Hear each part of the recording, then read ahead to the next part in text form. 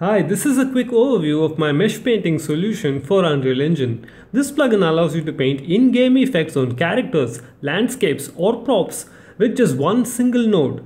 It also supports paint blob based collision, allowing you to perform complex gameplay decisions based on what was painted.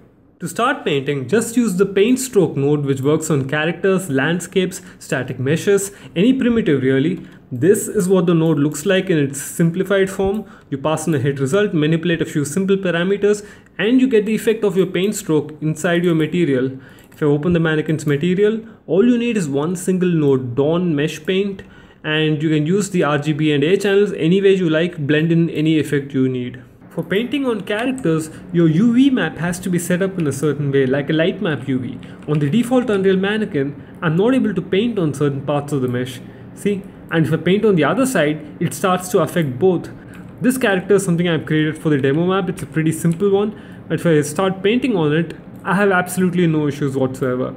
I can paint even if the character starts moving, my paint strokes are pretty precise. So I'm going to increase my brush size, decrease the opacity bit, and I'm going to start painting some lava, then maybe a body of water, and even some ice.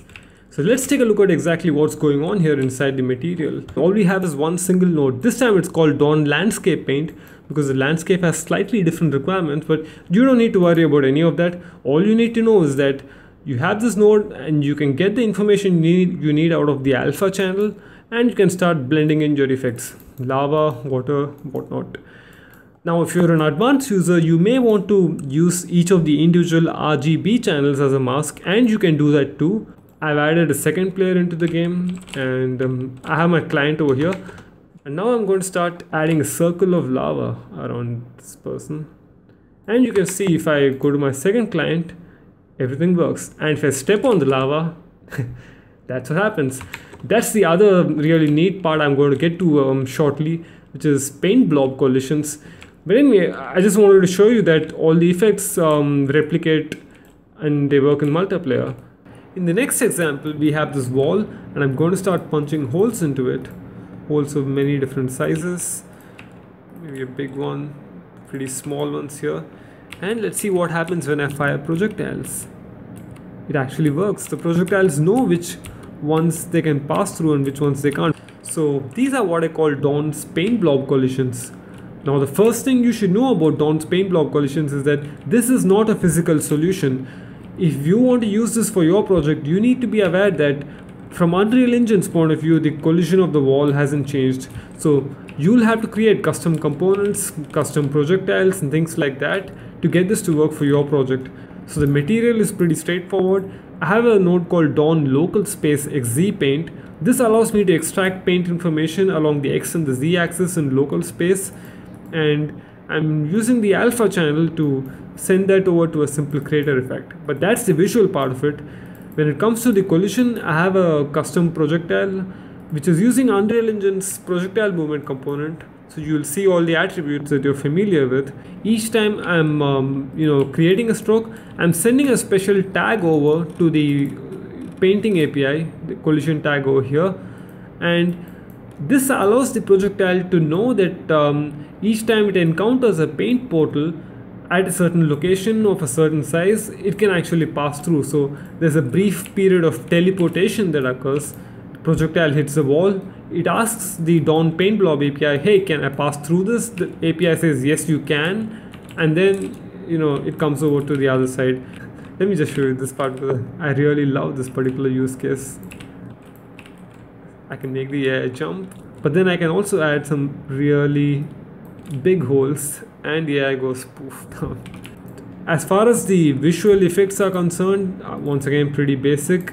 I'm again using DoN's local space paint local space by default is an alias for x and y because in this case because it's a flow we don't care about the z axis so it accumulates paint along x and y axis pretty straightforward in the last section I spoke briefly about collision tags. This time we can go into them in more detail. Here I have four different collision tags which I have created for my demo project. I'm calling them AI trap, AI obstacle, AI pit, when I use my left mouse button I'm creating a lava trap like that. When I use my right mouse button I'm actually creating an oil slick or a water slick. So each time I do that I'm actually encoding a particular collision tag here. From Unreal Engine's point of view these collisions do not exist or these portals do not exist. You know if I'm creating a portal here like that from Unreal Engine's point of view, this collision geometry is there, and that can affect your game in a number of ways, and you will need to figure out how to handle that because my plugin can't do that for you. It is primarily focused on things like painting. It's an out-of-the-box painting solution, which can also do some neat things with uh, projectiles.